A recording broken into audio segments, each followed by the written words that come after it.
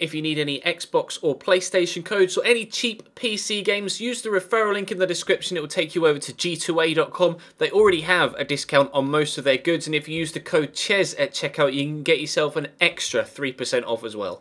Hey guys, how's it going? Ches back again and welcome to episode number 10 of the second season here at West Ham United on FIFA 16. We have all the S's today. Stoke City, who are currently sat fifth in the table, then Sevilla, followed by Sheffield Wednesday. So three games against against uh, S's in uh, today's video. Hopefully we can get some decent form. I don't know where Sheffield Wednesday are in the league. They're down in 18th on 7 points. So, uh, actually, where are Liverpool? Liverpool up into 14th. Shock horror. They'll be getting nosebleeds being that high in career mode. I really don't understand why Liverpool are always really poor in uh, in FIFA, but never mind. Arsenal currently top, City and United second and third, and then it's QPR, weirdly. Stoke, and then there's a clutch of teams on uh, 16 and 15. You can see we're on 15, and they're only a point, uh, two points, sorry, of the Europa League spots and only four points away from uh, QPR in the Champions League spots. We're in the Champions League currently, obviously, with that game against Sevilla to come. So fingers crossed, things can go well for us today. If you enjoy the episode this afternoon, make sure you drop the video a thumbs up rating and subscribe to the channel as well if you are new. We'll play in the blue kit just to save any sort of uh, kit colour classes between the red and the claret. But uh, for now, we'll see what we can do. I'm really excited about today's episode. I've not played for a while, so I might be a little bit terrible, but we'll see how it goes. Here's Noble. That's a good turn. Look for Umtiti. In actual fact, we find Ben Yedder. Mark Noble goes down. We should get a free kick here and have done. Noble's back on his feet. Could have had a shot there with Ben Yedder, but the turn wasn't the best. Now, what do we do here? I might end up just dinking this towards the back post and see if someone can run in towards it and get a header on goal. And they have. It's Imbula, but I think he's hurt there. And that's not necessarily the way we wanted things to start here against Stoke. Imbula's gone down and stayed down. We're going to have to bring on a tired uh, Obiang, I presume. I don't think... I could maybe move... I don't really want to play Payet or Lanzini inside and bring Redmond on on the outside. Barkley's got more stamina, but Obiang is going to be the man that best suits that role. So immediately, 15 minutes into the game, unfortunately Imbula's gone down with an injury. Won the header well, then landed with a bit of a crunch on that shoulder. And He's going to have to leave the field of play. Shaqiri trying to chase him down with Noble, but I'm not exactly going to catch Ched and Shaqiri with Mark Noble, am I? Stephen Iron, what a ball that is through to Mohar. I don't even know who Mohar is, but a wonderful interception by Samuel Umtiti and we'll try and catch them on the counter. Play it into Lanzini. Not got the fastest of players, really, Stoke. Play this to Nelson Semedo. Surely he's got the pace on uh, Steve Sidwell, and he does. And I see Lanzini at the back post. We'll dink it to him. Lanzini with a header. 1-0 West Ham. That's three headers from Lanzini in the last five or six games. He cannot help himself. Wonderful run, though, to arc around the back of the defenders. As everyone was sucked in towards the near post, he just had the uh, the intelligence to peel off the back, run around, was clean through at the back post. All I had to do was ensure the ball across was good. It was, as was the header. 1-0 West Ham away from home at the Britannia. Shaqiri. There's not long left now, and Stoke have got so many men forward, one of which is centre-back Marc Wilson, who's now very much out of position. If you can win that header, Ben Yedder, which he can't do. That was weird to say, that header Ben Yedder, in, uh, in such a quick fashion, but lovely tackle by Samuel Umtiti, and that needed to be made as well. Odemwingie out wide to Johnson trying to close him down with Ross Barkley, the former Liverpool player, up against the former uh, Everton player. But it's uh, the West Ham team that come out on top. A 1 0 victory at the Britannia against Stoke City. Hard fought, but we will take it. Three points to actually move us above them in the league, I believe. Or were they fourth? I can't, can't remember whether they were just above us or whether they were just above uh, QPR. No, QPR were in fourth, weren't they? They've won 2-1 against Sunderland. A win for Arsenal, a win for City and a win for Man United means that they keep pace at the top of the table. However, things are looking better for us in the Barclays Premier League. How long is Imbula out for? Just nine days, but that means he will miss the game against uh, Sevilla and probably the game against... Um, Sheffield Wednesday the weekend as well. So we'll jump into this next game in the Champions League. Victory against Sevilla would almost guarantee us progression through to the next round of the competition. Playing a different formation in this one because of the closeness of the fixture congestion and the fact that so many players are really, really tired. I'm playing two cams and just the one centre mid in that kind of Christmas tree triangle front forward uh, six. So we'll have to wait and see how it goes. Riedewald, is playing at centre mid, and he's by trade a centre back as well. So uh, he's going to have his work out in that holding role as the one central, out and out central midfielder in the side. So this is going to be a difficult game, more difficult than I thought before we headed in. So I'll be pleased with just a point here, but if we can get the win, then I will try and get one. Konoplyanka inside to Krychowiak to Fernando Llorente. Try and get a block in. Barkley's trying to make the interception, but they're working about nicely. Krychowiak, the pole is in the box, and the shot. And a finish and a half from him as well on his left foot. Oh, Grzegorz Krychowiak gives Sevilla a 1-0 away lead after 12 minutes. Really well worked. I thought I'd done enough there when Ross Barkley got the interception, but that first touch there and the turn, I, I hate that attempted tackle. They just kind of lean rather than trying to actually go for the ball. Sam Byram did it there, and oh, it's a great finish, but still really frustrated that uh, they were able to create the opportunity with that turn. Wish Byram had gone for the ball rather than just trying to get in the way of a potential uh, blocked shot. Zarate a forward ahead of Antonio. They're a man down at the minute because Coke's gone off injured, but I've run into a borer there. But Riedewald's won it back, very nicely done. And we'll look for Saido, and Saido will look for Ross Barkley. Might be able to get it back towards Saido Berahino. Does have a five-star weak foot, of course, Ross Barkley. Although he's used his right and he's hit the bar. Where's that going to go? It's not going to go out for a goal kick, and they've smashed it clear. Really nicely worked by Ross Barkley there. Was waiting for the shot on the left. Took it with his right. Berahino may even have a chance of his own now as well, and he's hit it straight at Beto. Two great opportunities there to get an equaliser, but unfortunately, the bar and then the goalkeeper were in the way. And there you go, it's given that straight to Riedewald, who then has made the secondary tackle as well. But the ball is just pinging straight back to Sevilla men right now. It won't fall for us in this first half.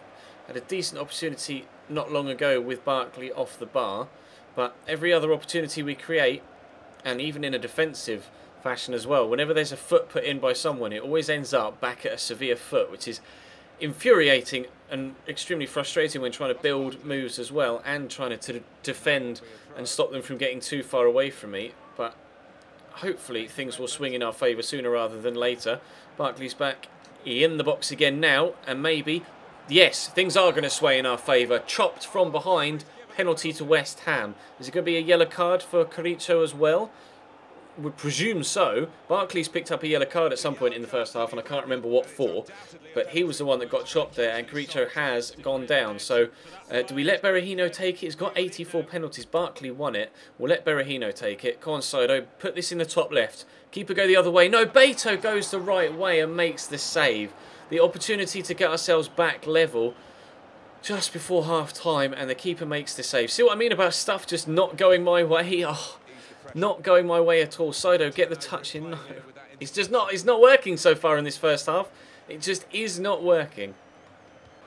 Berahino to Riedewald. Get this through to Saido again and around the corner. Mauro Zarate's in the box. Turn inside. Finesse shot from Mauro Zarate. No, no, we've hit the bar again. Oh my god! It will not go in. It, we cannot score a goal here against Sevilla. Everything I've tried, a missed penalty off the bar twice. Sevilla are the luckiest sons of bitches we've played against so far in this entire series. This is like the 30th episode so far in a season and a half. And I've never had a game like this where we've just been so, so unlucky in front of goal. Ever Banega. It's again that weird animation where they just kind of lean in front of the man rather than trying to make a tackle. everything that's happened in this game so far, everything, every last little detail. It, the game want, FIFA wants me to lose this game against Sevilla. It just does. That falls perfectly for, for, for Fernando Llorente. We get a, an interception or a tackle, and I can't even remember what it was. There, that blocked out, and it just dropped straight to Llorente. Ah! So annoying. 2-0 down against Sevilla now when we could be 3-2 up if we'd not hit the bar and oh, scored the bloody penalty. Sam Byram. Space there for Redmond to run into, but unfortunately I've had to turn inside. We'll play that around the corner looking for Saido Berahino though. It's a good run. Really good run. Can we get in the box? We have done. Berahino to chance. Oh, the chance to get us back in the game and he's put it wide. Saido, so when I need you to be clinical in front of goal, my man, and he's just pulled the shot past the far post. It's just, nothing's gone for me in this one. I'll give this to Berahino. and lay it quickly across towards Zarate, but everyone's shattered because we've just been running around chasing the ball the entire time. 2-0 Sevilla is the final scoreline. We could quite possibly have won that with the amount of chances we had. Missed a penalty, hit the bar twice. Another couple of good opportunities as well, but Sevilla come away with the victory because the game decided that they should win it. I desperately want three points against Sheffield Wednesday now. Obiang. Forward to Ben. Try and use the run as a distraction. Ben shows good strength. He's still going here, Ben. Oh, the shot was terrible. Oh, if that had bent into the top corner, that would have been a phenomenal goal. Great strength for the little man, but with the, the, defender on his shoulder, maybe a little nudge in the back as well. Just leant back a little bit too much and too much elevation on it. Never mind. Good opportunity to start things off after 10 minutes. Here come Wednesday on the attack. Matthias, he's got Sergio Bus ahead of him, and Titi is with him. He's held him off well there. Gary Bannan skips past Mark Noble. Down the line again for Sergio Bus. Winston Reid commits to the challenge wipes him out. It's going to be a booking for Winston Reid, unsurprisingly, and a free kick for Wednesday, which is basically going to serve just as sort of a corner, really. Similar sort of position. It stood up into the middle. Keeper's come and punched, as he normally would do, from a corner as well. Sané brings it down. Counter-attack time, maybe. Uh, through to Noble. Sané, if you can make me the right run, my man, I will try and find you. And we may have done that perfectly. He's going to get on the end of it, drive towards goal, and not score because Keiren Westwood. Oh, Biang, what are you doing? What even is that? What is that animation? What? Tell me in the comment section. What the fuck was that? All he's got to do is put that in the into the back of an empty net, and he's just tried to. I don't even know. Knock it in with his stomach, perhaps. Wiggle his belly button at the ball. I don't know what he's doing. We should be 1 0 up in this game by now, and we're not. Ah, fucking hell. Obiang turn, give it to Ben Yedder, or have it intercepted, and then we'll give it to Ben Yedder. Good first touch, good turn. Gonna have to look back. Is there someone running from deep? There is. Mark Noble will take a touch, have the shot, score a goal. No, wide for a corner. Never mind. We'll try and get something from the set piece instead. Noble will take it. Keeper might come for this. Has done. Winston Reid's gone up. That's going to drop to Nelson Semedo eventually. And I can't have a shot because it just wouldn't settle for him. Are we going to get a free kick here, though? Is that in our way? It is. Payet right on the edge of the box. He's probably got the best free kick stats of anyone starting, doesn't he? Yes. 81 curve. Not too much power on it. Payet oh, into the wall and out for another corner. Fine. Come on. Let's get ourselves in front. Plenty happening in the opening 20 minutes here. And the header from Umtiti straight at the goalkeeper. Hugh. Tom Lees down the line. Nice little one-twos going on here, but we'll get the tackle in and then they'll get a fortunate rebound and playing the ball about beautifully and Sheffield Wednesday are 1-0 up. I'm just I'm trying not to rage here. I got angry enough in that Sevilla game. I'm just that's fine. We'll just come back. We'll get an equaliser. We'll still win this game. Payet to Ben Yedder. Heavy touch. Try and oh send the defender. Oh Ben Yedder, this is delightful. Ben Yedder, that is one of the best goals we've scored all series long. What a run! From Wissam Yem Ben Yedder. They've just scored.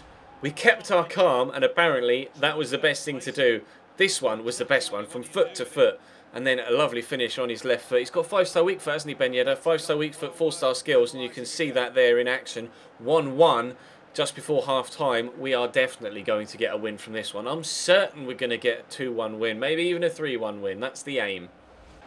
Keep that in, Nelson. Good lad into Payet. Obiang will make me run maybe. Well, Sané has, and we'll look for Ben Yedder. He's in. Good first touch. Finesse shot from Ben Yedder. Great block by Tom Lees. They're still not got it clear properly. Can you win this, Lanzini? You've been winning headers to score goals, but you can't win that one. Uh, is that going to drop to West Ham? I'm trying to get there. There we go. Noble looking for. Oh, it's meant for Payet, but Sané could win it back. No, Tom Lees again, just defending very, very well at the minute. Sheffield Wednesday. That could have been 2-1. Surely it's not long until we actually get that second. Nice threaded through ball. Payet gets on the end of it. Will send Ben Yedder. Not much support here up at all. But Lanzini gets there to pick up the rebound and Yedder will go for the turn. We'll give it back to Lanzini. Committed to the challenge here, the defender. Lanzini skips over it. There's the cross. Oh, Dimitri rises first. We are in front at last, away from home at Hillsborough. Lanzini hops over the challenge. Nice hurdle and then stands it up. I don't know how players won that header against the defender, but I am glad that he has. 2-1 West Ham. Thank you, Dimitri. Exactly what we needed. He's giving that straight to Sané. We can get this inside to Mauro Zarate. Oh, I need Lanzini on the far side. He's arriving. We'll play it into him. We've got Noble ahead of me. I can't get it to you yet, Mark, because you ran straight offside. But we'll try and get this back in the box. Surely that's a pen. It is. We missed a penalty in the last game against Sevilla, and here is the chance to get a third goal to go 3-1 in front in this one. A definite penalty. It's going to be a yellow card for the defender. I'm trying to skip it because I just want to take the pen at this point. Rhoys Wiggins. Royce? Reese? I don't know. R-H-O-Y-S. I don't know. No idea how to pronounce that. I apologise. I presume it's Welsh. Um, who's going to take the pen? Noble has 88 penalties. Well then, Mark, looks like it's going to be you. We'll go the opposite corner as we did against Sevilla, and it works! West Ham 3, Sheffield Wednesday 1. We are going to get three points again in the Barclays Premier League. So it looks like two wins from the BPL today, and unfortunately that defeat against Sevilla. Here's Lees for Wednesday taking their time here. There's barely any time left in the game. Oh, it's a lovely ball through to Kamano, and that would have been a gorgeous goal if he'd have walked that round the goalkeeper. Sadly for him, he wasn't able to do so, and this should be, as we break away, the full-time whistle. A 3-1 win over Sheffield Wednesday on top of our 1-0 win against Stoke, on top of our 2-0 defeat against Sevilla, which shouldn't have been a defeat. Only 39% possession in that one, but plenty of chances. Pleased with our Barclays Premier League form in today's episode. We will just have to be better against uh, Wednesday, against uh, uh, teams in Europe, won't we? We've got games, it's twice now we've played Sevilla, I think, isn't it? We've got to play, uh, let's have a look at the group, actually, we can show you how it's going. We are up into fifth in the BPL, though, which is fantastic. And eventually it will actually change group. There we go, change slate. Can you do it again for me? I want the Champions League. There we go. And we were in the last group, weren't we, actually, thinking about it. So we'll go this way. We are second. Sevilla, clear winners of the group, clear leaders. They are well, pretty much guaranteed progression through. But we've got Inter and Besiktas to play, and it's all in our hands. We get good results there, we will go through to the uh, the knockout stages of the Champions League. Next up, we've got QPR, who are there and thereabouts at the top of the BPL table. That's going to bring today's episode to a close, guys. Drop the video a like if you enjoyed. Subscribe to the channel as well if you haven't already. Check the channel page for anything you may have missed over the past few days, whether it's this series or the My Player series. Episode of that was uploaded last night if you missed it, so uh, check that out. But for now, thank you very much for watching, and I'll see you next time.